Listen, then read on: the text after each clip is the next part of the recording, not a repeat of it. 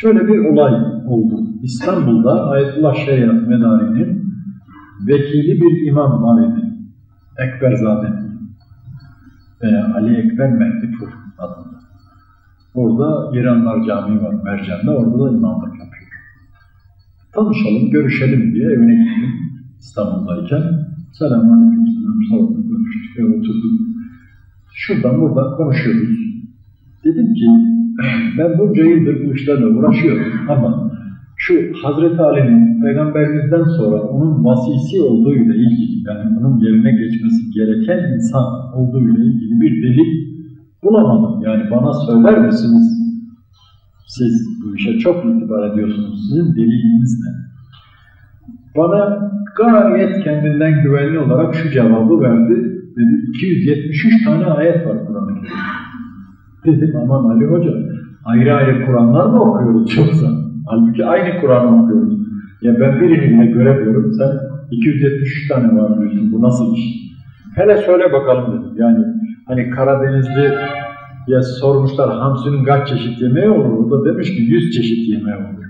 Bizim gibi buğulamasıyla kızartmasının dışında bir şey olduğunu bilmeyen de demiş ki hele bir say başlamış Karadenizli bir demiş baklavası duyunca soruyu soran tamam gerisini saymıyorsun. baklavası olanın hasirdesi olur, böreği olur, çöreği olur, olmadıkça petlesi olur, hoşafı olur, kompostosu olur. Öyle Ben de dedim şu 273 ayetten hele birini bir söyle de 272'sine sonra bakalım. Kendinden gayet emin. Kur'an'da hatırlayacaksınız. Musa Aleyhisselam'a Allah vahyettiği ve Firavun'a gidip bunları güzellikle anlatmasını söylediği zaman o dilinde hafif pelteklik varmış Musa Aleyhisselam'ın. Kardeşi Harun da çok güzel konuşurmuş.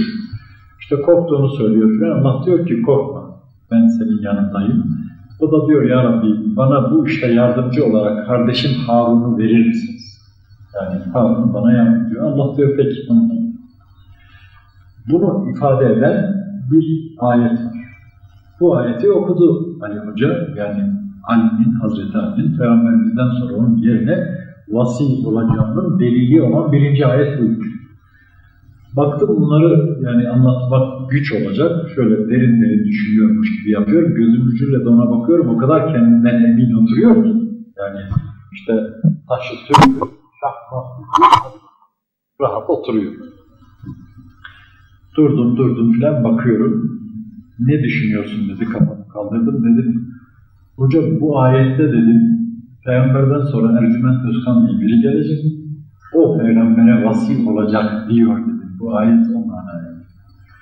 Yani amacım böyle demek değil ama onu biraz düşündürdüm. Yahu dedi nereden çıkardın senin dedi adın yok sayadın yok. Mübarek dedim Ali neresinde geçiyor bu ayeti. Ali nerede Hüseyin Var mı? Harun'dan, Musa'dan bahsediyor.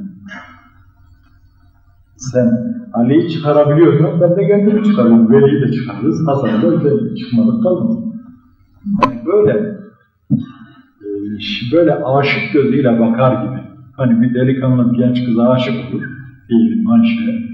Yani Zeynep'ine de baksa Ayşe'sini görür, Hatice'sine de baksa Ayşe'sini görür yani. İşte bu şeyler de, şeyler de bazı konularda böyle aşık gözüyle bakıyorlar. Yani bana bakıyor ama beni görmüyor. Kafasındakini görüyor. Filan ayete bakıyor ama o ayette Ali'yi görüyor. Halbuki Ali Mani yok. Ama öyle kurmuş kendini. Ali'yi görüyor, Hüseyin'i görüyor. Tabii bu peşin bakış, bu peşin nazarla bakış insanı kesin kes esasdan yanıltıyor. Gerçekten uzaklaştırıyor. Böyle olunca da ne kadar iyi niyetli olursanız olun, doğruları bulamıyor, yolunuzu şaşırıyor.